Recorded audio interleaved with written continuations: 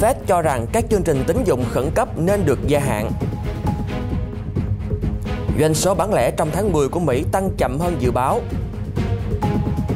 Thu nhập đầu người của Trung Quốc sẽ tăng mạnh trong 4 năm tới. Doanh nghiệp vui mừng khi Hồng Kông và Singapore mở lại các chuyến bay trực tiếp. Tại Việt Nam, Việt Nam tổ chức hội nghị nhóm làm việc quan chức quốc phòng cấp cao ASEAN mở rộng. Chỉ được ký hợp đồng lao động bằng lời nói nếu thời hạn dưới một tháng. Chính thức khai mạc hội chợ kích cầu du lịch lớn nhất trong năm. Việt Nam bước vào ngưỡng già hóa dân số và gấp rút xây dựng dữ liệu y tế.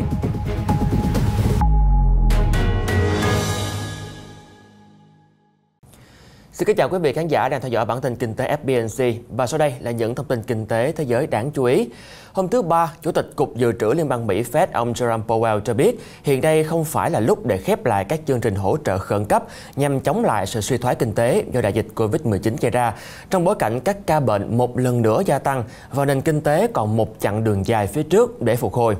Ông Powell nói thêm rằng ông cảm thấy rằng các chương trình có thể vẫn còn cần thiết sau ngày 31 tháng 12 năm nay. Việc mở rộng các chương trình hỗ trợ hiện nay của Fed sẽ cần tới sự chấp thuận của Bộ Tài chính Mỹ. Tuy nhiên, ông Powell và các quan chức Fed khác lại tỏ ra lo ngại trước các nhận định khác nhau về nền kinh tế hiện nay có thể dẫn đến việc đưa ra các chính sách thích hợp sẽ bị xa lầy vào các cuộc tranh luận.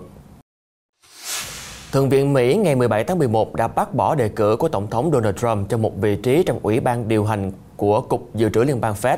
Đảng Cộng Hòa vẫn chiếm đa số tại Thượng viện. Tuy nhiên, hai thượng nghị sĩ đã không thể tham gia bỏ phiếu về cách ly COVID-19 và hai thượng nghị sĩ khác đã bỏ phiếu chống là ông Mitt Romney và bà Susan Collins. Ứng cử viên Judy Shelton bị các nghệ sĩ hoài nghi về năng lực khi bà từng đề xuất nhiều chính sách gây tranh cãi, cũng như việc liệu rằng bà có thể dự tính độc lập trong các hoạt động của Fed hay không cũng là một dấu chấm hỏi. Thưa quý vị, nền kinh tế Mỹ tiếp tục ghi nhận những tín hiệu kém tích cực. Theo Bộ Thương mại Mỹ, doanh số bán lẻ tháng 10 khá thất vọng, chỉ tăng có 0.3% sau khi ghi nhận mức tăng đã điều chỉnh 1.6% trong tháng 9. Tốc độ tăng này thấp hơn so với dự báo 0.5% của các nhà kinh tế. Dự báo doanh số bán lẻ sẽ tiếp tục thấp trong các tháng tới do sự bùng phát làn sóng lây nhiễm khiến cho người tiêu dùng Mỹ tránh đám đông và nhiều doanh nghiệp tạm thời bị đóng cửa do các lệnh cấm mới. Đại diện Cục Dự trữ Liên bang Mỹ Fed vừa cho biết, cơ quan này có thể mở rộng chương trình mua nợ để giúp kinh tế Mỹ phục hồi sau dịch Covid-19. Theo đó, Fed sẽ tăng cường mua trái phiếu gồm trái phiếu chính phủ và chứng khoán được bảo đảm bằng thế chấp. Lãnh đạo công đảng đối lập của Úc, bà Tanya Plibersek mới đây phát biểu trên kênh ABC News đã hối thúc chính phủ nước này tiếp tục đẩy mạnh việc khôi phục kinh tế và hỗ trợ việc làm cho những người bị sa thải vì Covid-19. Nhận định của bà Plibersek đưa ra trong bối cảnh chính phủ của đảng tự do do Thủ tướng Scott Morrison lãnh đạo đang gặp nhiều khó khăn ở trong nước khi mà Covid-19 vẫn hoành hành. Các hoạt động kinh tế vẫn chưa trở lại bình thường, còn ở bên ngoài thì căng thẳng thương mại với Trung Quốc đang gia tăng. Thời gian qua, Trung Quốc đã cấm hoặc tăng thuế với hàng loạt những loại hàng hóa quan trọng của Úc như than đá, tôm hùm, rượu vang hay thịt bò. Úc cũng phản đối lên WTO và gọi đây là cách hành vi đàn áp không công bằng. Thưa quý vị, theo một báo cáo của Quỹ tiền tệ quốc tế IMF, thì từ giờ cho tới năm 2025, có thể thu nhập bình quân đầu người của Trung Quốc sẽ đạt khoảng 25.000 đô la một người một năm, đưa nước này vượt lên khoảng 56 quốc gia khác. Hiện tại, Trung Quốc đang xếp thứ 70 trên bảng xếp hạng. Bên cạnh đó, trong nhóm 7 quốc gia phát triển nhất thế giới hiện tại, tức uh, nhóm G7, thì thu nhập bình quân đầu người cũng sẽ tăng từ 31.000 đô la lên khoảng 64.500 đô la vào năm 2025. Báo cáo này cũng cho biết tới năm 2030 thì năm quốc gia có BRICS gồm có Brazil, Nga, Ấn Độ, Trung Quốc và Nam Phi, tổng sản phẩm quốc nội sẽ vượt qua G7. Trong một cuộc phỏng vấn với CNBC News mới đây, ông Sijilai, CEO của BNP Paribas China cho biết các nền kinh tế lớn trên thế giới vẫn bị ảnh hưởng nặng do đại dịch Covid-19 và chưa thể phục hồi trong thời gian ngắn. Tuy nhiên, với kinh tế Trung Quốc thì họ đang có rất nhiều dấu hiệu tích cực. Hàng loạt các dự án xây dựng cơ sở hạ tầng của chính phủ và nhất là doanh số bán lẻ tăng kỷ lục đã thổi một luồng gió lạc quan vào khả năng phục hồi.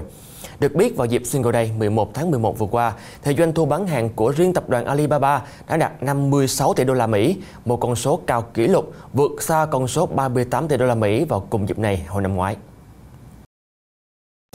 Mới đây, giám đốc điều hành của nhà sản xuất ô tô Nhật Bản Nissan, ông Ashwani Gupta cho biết, việc rời khỏi Liên minh châu Âu của Anh sẽ làm công việc kinh doanh của công ty này xấu đi thông qua công việc tăng thuế và các hình thức khác. Nissan đang sử dụng 7.000 nhân viên tại nhà máy ô tô lớn nhất của Anh ở Sunderland. Trước đó vào tháng 6, Nissan đã kêu gọi Anh và EU nhanh chóng đưa ra một thỏa thuận thương mại hậu Brexit cân bằng và có thứ tự. Tuy nhiên, công ty lại tiếp tục cảnh báo một lần nữa do nhận được thông báo rằng hai bên chỉ còn chưa đầy có 10 ngày nữa để thỏa thuận được thông qua. Thưa quý vị, ngân hàng khổng lồ Goldman Sachs đang chuẩn bị cho việc cắt giảm nhân sự lần thứ hai sau lần đầu tiên cách đây 3 tháng khi họ buộc phải sa thải 400 nhân viên. Giải thích cho lý do này, một đại diện cho biết việc uh, dịch Covid-19 vẫn diễn biến phức tạp, đặc biệt là tại Mỹ, đã ảnh hưởng lớn tới các hoạt động kinh doanh. Việc cắt giảm lần này nhằm tiết kiệm 1,3 tỷ đô la Mỹ cho các hoạt động trong vòng 3 năm tới. Dự kiến tới năm sau thì sẽ có những đợt cắt giảm tiếp theo, biến Goldman Sachs là một trong những công ty có số lượng nhân viên bị cắt giảm nhiều nhất trong lĩnh vực tài chính ngân hàng trên thế giới. Phát biểu trong một cuộc phỏng vấn với CNBC mới đây, CEO của Kellogg, ông Eric Nordfair cho biết các doanh nghiệp hai bên đang rất háo hức với viễn cảnh Hồng Kông và Singapore mở cửa trở lại các chuyến bay trực tiếp. Điều này không chỉ giúp kích cầu du lịch, giúp cho những người có thân nhân ở hai bên thăm viếng lẫn nhau, mà còn giúp khởi động lại các hoạt động kinh tế, kinh doanh, xuất nhập khẩu vốn đã bị ngưng trệ từ khi Covid-19 bùng phát.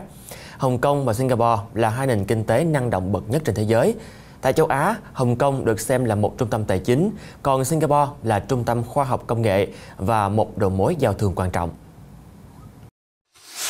Cũng theo CNBC News đưa tin, gã khổng lồ bán lẻ của nước Mỹ, chuỗi siêu thị Walmart, mặc dù bị ảnh hưởng nhiều do Covid-19, nhưng nhờ hệ thống bán hàng trực tuyến đã giúp cho công ty này thu được thêm lợi nhuận để bù lại. Theo thống kê, trong quý 3 năm 2020, doanh số bán hàng trực tuyến của Walmart đã tăng 79%. Đây là một con số cao kỷ lục. Dự tính từ giờ cho tới cuối năm, với việc có nhiều dịp quan trọng, đặc biệt là lễ Giáng sinh, thì Walmart hoàn toàn có thể lạc quan đạt được các mục tiêu doanh thu đề ra.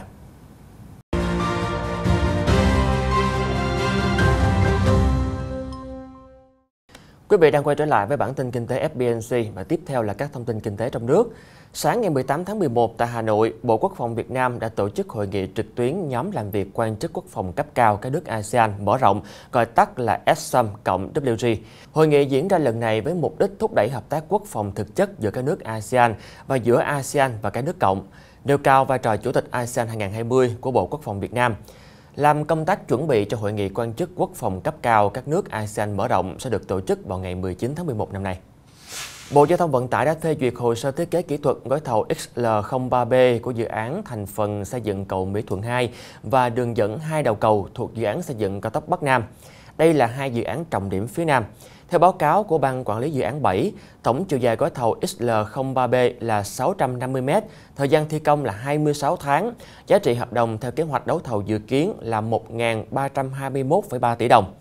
Dự kiến khởi công vào tháng 9 năm 2021 và hoàn thành vào tháng 12 năm 2023. Dự án thành phần đầu tư xây dựng cầu Mỹ Thuận 2 và đường dẫn hai đầu cầu thuộc dự án xây dựng cao tốc Bắc Nam thuộc loại hình công trình giao thông đường bộ cấp đặc biệt đối với phần cầu Mỹ Thuận 2 và cấp 1 đối với phần đường dẫn. Tổng mức đầu tư 5.003 tỷ đồng, dự kiến hoàn thành vào năm 2023. Thưa quý vị, Ủy ban nhân dân thành phố Hồ Chí Minh vừa có văn bản khẩn gửi Bộ Kế hoạch và Đầu tư xem xét, hướng dẫn thực hiện một số nội dung vướng mắc về thủ tục quy định chủ trương đầu tư dự án xây dựng đường cao tốc thành phố Hồ Chí Minh một bài theo hình thức PPP, tức là hợp đồng BOT. Đường cao tốc thành phố Hồ Chí Minh Mộc Bài có chiều dài 53 km, điểm đầu giao với đường vành đai 3 theo quy hoạch, điểm cuối tại khu kinh tế cửa khẩu Mộc Bài nằm ở tỉnh Tây Ninh. Tổng diện tích thu hồi đất của dự án là khoảng 432 ha, trong đó thành phố Hồ Chí Minh chiếm 209 ha và tỉnh Tây Ninh là 223 ha, được thực hiện bằng các dự án độc lập theo quy định của luật đầu tư công. Dự kiến tổng vốn đầu tư khoảng 13.600 tỷ đồng. Luật bảo vệ môi trường sửa đổi vừa được thông qua tại kỳ họp thứ 10 Quốc hội khóa 14. Luật quy định rác sinh hoạt từ hộ gia đình, cá nhân được phân loại gồm chất thải có khả năng tái chế sử dụng, chất thải thực phẩm, chất thải khác. Theo luật thì chi phí thu gom, vận chuyển, xử lý rác được tính toán dựa trên pháp luật về giá, khối lượng hoặc thể tích rác đã được phân loại. Rác có khả năng tái sử dụng và rác thải nguy hại phát sinh từ hộ gia đình. Nếu phân loại đúng quy định thì không phải chi trả chi phí. Trường hợp hộ gia đình không phân loại hoặc là phân loại không đúng quy định thì phải chi trả cho tất cả các loại rác phát sinh. Tuy nhiên, dự thảo luật chỉ quy định về nguyên tắc, sau đó chính phủ sẽ ban hành văn bản hướng dẫn và các địa phương quy định cụ thể để thực hiện chính sách này. Thưa quý vị, Bộ Nông nghiệp và Phát triển Nông thôn vừa cảnh báo bác bỏ một số đề nghị của các địa phương về việc xin chuyển đổi đất rừng, trong đó có rừng tự nhiên để triển khai dự án. Theo đó, Bộ Nông nghiệp và Phát triển Nông thôn bác dự án nhà máy điện gió Hòa Thắng 1.2 và đường dây đấu nối 110 kV do bản đồ hiện trạng rừng và đất lâm nghiệp công trình này có tỷ lệ 1 trên 2.000 gửi kèm hồ sơ dự án, không thể hiện rõ hiện trạng tổng thể khu vực dự án, không thể hiện được thời điểm lập bản đồ hiện trạng rừng. Tương tự, dự án đường giao thông đến vùng phát triển Sâm Ngọc Linh, tuyến Măng Lùng, Đắc Lây, huyện Nam Trà My chưa làm rõ diện tích rừng tự nhiên, đề nghị quyết định chủ trương chuyển mục đích sử dụng của dự án thuộc phân khu nào của khu dự trữ thiên nhiên Ngọc Linh. Do vậy, chưa có cơ sở để xác định dự án thuộc tiêu chí được chuyển mục đích sử dụng rừng tự nhiên theo quy định số 83. Ngoài ra, mới đây, Bộ Nông nghiệp Phát triển Nông thôn có văn bản bác đề nghị của Ủy ban Nhân dân tỉnh Ninh Bình về việc chuyển mục đích sử dụng 38,7 ha rừng tự nhiên thuộc quy hoạch rừng phòng hộ để thực hiện dự án đầu tư công trình khai thác mỏ đá vôi theo quy định 83 năm 2020. Thưa quý vị, Bộ Nông nghiệp và Phát triển Nông thôn cũng vừa tổ chức họp đánh giá công tác khôi phục sản xuất sau bão lũ tại các tỉnh miền Trung, đồng thời bàn biện pháp thúc đẩy nhanh tiến độ tái thiết sau thiên tai. Bộ trưởng Bộ Nông nghiệp Phát triển Nông thôn nhấn mạnh, những kế hoạch tái thiết thì cấp bách trước mắt là hỗ trợ người dân khôi phục sản xuất những cây trồng và vật nuôi ngắn ngày. Về lâu dài, một phần trong nhiệm vụ tái thiết sau thiên tai lần này là xây nhà chống lũ cho người dân. Qua khảo sát thực tế, các chuyên gia đánh giá chỉ có nhà chống lũ mới giúp bảo vệ an toàn tính mạng và tài sản cho người dân. Tới thời điểm này, các tổ chức quốc tế cũng đã thông qua cơ quan phòng chống thiên tai hỗ trợ các tỉnh miền Trung 20 triệu đô la Mỹ. Số tiền này sẽ được phân bổ cho các địa phương để nhanh tái thiết sau thiên tai. Một thông tin về lao động mà người lao động và người sử dụng lao động nên lưu ý. Từ ngày 1 tháng 1 năm 2021 sắp tới, quy định về hình thức của hợp đồng lao động nêu tại Bộ Luật Lao động năm 2019 có nhiều sự thay đổi so với hiện hành. Trong đó nổi bật là quy định người sử dụng lao động và người lao động chỉ có thể ký hợp đồng lao động bằng lời nói đối với hợp đồng có thời hạn dưới một tháng. Tuy nhiên, quy định này không áp dụng đối với ba trường hợp công việc theo mùa vụ công việc nhất định có thời hạn dưới 12 tháng với nhóm lao động từ đủ 18 tuổi trở lên. Trong đó, việc ký hợp đồng do nhóm lao động này ủy quyền cho một người lao động trong nhóm ký, ký hợp đồng lao động với người chưa đủ 15 tuổi và người đại diện theo pháp luật của người đó và khi ký hợp đồng lao động với người lao động là người giúp việc gia đình. Sẽ được chuyển sang những thông tin đáng chú ý khác. Theo thống kê, Tổng cục Hải quan vừa công bố, lượng ô tô nhập khẩu nguyên chiếc về Việt Nam trong tháng 10 năm 2020 đạt 13.650 chiếc, tăng 7,8% so với tháng trước. Trong đó, ô tô nguyên chiếc các loại nhập về Việt Nam trong 10 tháng năm 2020 chủ yếu có xuất xứ từ Thái Lan là 38.800 chiếc và từ Indonesia là gần 28.900 chiếc, chiếm 84% tổng lượng nhập khẩu của cả nước. Tính chung 10 tháng của năm 2020, cả nước đã nhập khẩu hơn 80.000 chiếc ô tô và trị giá 1.774 triệu đô la Mỹ. Sau 3 lần hoãn về dịch Covid-19, thì Hội chợ du lịch quốc tế Việt Nam VITM Hà Nội 2020 đã chính thức khai mạc sáng ngày 18 tháng 11 tại Cung văn hóa hữu nghị Việt Xô Hà Nội. Hơn 10.000 tour kích cầu và 100.000 vé máy bay giá rẻ được chào bán từ nay cho tới hết ngày 21 tháng 11 với kỳ vọng phục hồi du lịch nội địa cuối năm. Đây là hội chợ kích cầu du lịch nội địa lớn nhất kể từ đầu năm cho tới nay, với sự tham gia của hơn 300 doanh nghiệp du lịch ở 47 tỉnh thành. Dù chịu ảnh hưởng nặng bởi dịch Covid-19, các đơn vị vẫn tung ra hàng chục ngàn gói kích cầu hấp dẫn với số lượng vé máy bay và tour giảm giá. Trong đó có những gói giảm giá sâu từ 30 tới 40%, nhưng có những sản phẩm chủ yếu là nâng cấp về chất lượng dịch vụ. Thưa quý vị, từ năm 2021, Bộ Y tế sẽ chính thức đưa vào sử dụng hơn 90 triệu hồ sơ sức khỏe cá nhân. Bộ Y tế sẽ thực hiện à, khám chữa bệnh ngoại trú không còn dùng giấy với khoảng 120 triệu lượt hồ sơ. Trong số này thì có cả những hồ sơ khám sức khỏe giấy phép lái xe. Vừa qua, Bộ Y tế và Tổ công tác đã ấn nút công bố dịch vụ công thứ 100 của Bộ Y tế tích hợp cung cấp trên Cổng Dịch vụ Công Quốc gia. Theo lãnh đạo Bộ Y tế, mặc dù năm vừa qua cả ngành phải căng mình chống dịch Covid-19, nhưng Bộ vẫn quyết tâm triển khai cải cách hành chính, đẩy mạnh ứng dụng công nghệ thông tin và chuyển đổi số. Sắp tới đây, Bộ Y tế sẽ chính thức khai trương cổng công khai y tế nhằm công khai 60.000 loại thuốc, tất cả trang thiết bị y tế lưu hành ở Việt Nam, 28.000 loại thực phẩm chức năng và quảng cáo, tiến tới công khai cả giá bán. Nhằm hướng tới một khung pháp lý hoàn thiện để quản trị dữ liệu nói chung và bảo vệ dữ liệu y tế nói riêng, thì sáng nay tại Hà Nội, Viện Nghiên cứu Chính sách và Phát triển Truyền thông IPS, Hội Truyền thông số Việt Nam đã tổ chức hội thảo chuyển đổi số và quản trị dữ liệu trong lĩnh vực y tế. Một trong những khuyến nghị nêu tại hội thảo là trước mắt Bộ Y tế cần phải chủ trì phối hợp với bộ ngành liên quan xây dựng cơ chế sandbox để khai thác hiệu quả dữ liệu y tế của người bệnh đang được giao cho các bệnh viện quản lý. Ngoài ra cần phải gấp rút ban hành luật về dữ liệu cá nhân và chính phủ cần có chiến lược quốc gia về dữ liệu để khai thác được giá trị dữ liệu y tế, đảm bảo lợi ích tối ưu lợi ích quốc gia, đặc biệt là khi Việt Nam bước vào ngưỡng già hóa dân số, chi phí chăm sóc sức khỏe y tế cho người dân cũng sẽ tăng cao.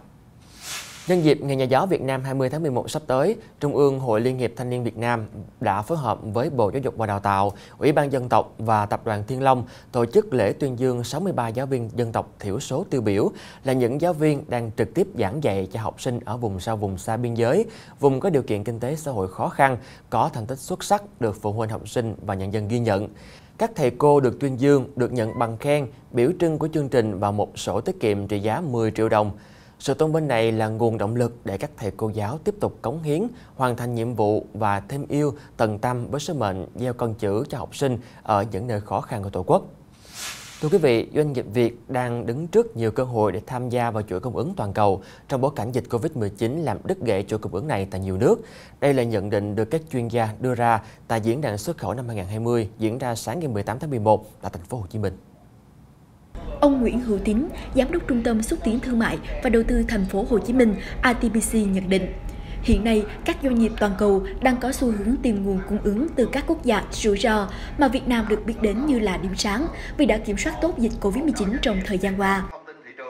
Bên cạnh đó, với 13 hiệp định thương mại tự do song phương và đa phương đã có hiệu lực, hiệp định RCEP mới được ký kết và đang đàm phán hai FTA khác, Việt Nam được đánh giá là một trong những nền kinh tế mở nhất thế giới, tạo ra cơ hội lớn để phát triển chuỗi cung ứng mới. Trước khi dịch Covid xảy ra thì thị trường cung ứng cung ứng nguyên liệu toàn cầu cho các doanh nghiệp sản xuất thì chúng ta thấy rằng hầu như là tập trung ở Trung Quốc nhưng mà kể từ khi à, dịch Covid xảy ra thì cái sự nhìn nhận về cái chuỗi cung ứng này có thay đổi đối với các doanh nghiệp trên thế giới và các doanh nghiệp hiện nay đang tập trung vào đối với các nước mà có một cái nền tảng là thứ nhất là có cái phát triển về nông nghiệp cũng như là nguyên liệu cái thứ hai là kiểm soát được dịch bệnh trong thời gian qua mà Việt Nam chúng ta là một là nước là một trong những nước mà được thế giới đánh giá đang kiểm soát dịch trong thời gian qua rất tốt. Do đó theo tôi nghĩ rằng hiện nay các doanh nghiệp đang tập trung vào để nghiên cứu thị trường Việt Nam sẽ là một trong những điểm để cung ứng cái nguồn nguyên liệu cho các doanh nghiệp trên thế giới. Tuy nhiên, theo các chuyên gia, mặc dù là nền kinh tế Việt Nam có độ mở cao, nhưng mức độ tham gia của doanh nghiệp Việt Nam vào chuỗi cung ứng toàn cầu vẫn thấp hơn nhiều so với các nước khác cùng khối ASEAN. Số liệu của Ngân hàng Thế giới cho thấy, năm 2018, Việt Nam chỉ tạo ra được 20,4 tỷ đô la Mỹ thông qua việc tham gia vào các chuỗi cung ứng toàn cầu, xếp thứ 53 trên tổng số 174 quốc gia. Con số này chưa bằng 1 phần 4 của Philippines với 84,8 tỷ đô la Mỹ. Đồng thời, mức độ tham gia vào các công đoạn tinh vi phức tạp của doanh nghiệp Việt Nam vẫn còn thấp. Theo báo cáo phát triển thế giới năm 2020, mức độ tham gia của Việt Nam hiện nay vào chuỗi cung ứng toàn cầu đang ở cấp độ chế biến chế tạo mức hạn chế, thấp hơn một cấp so với trình độ chế biến chế tạo và dịch vụ tiên tiến của Malaysia, Thái Lan và Philippines.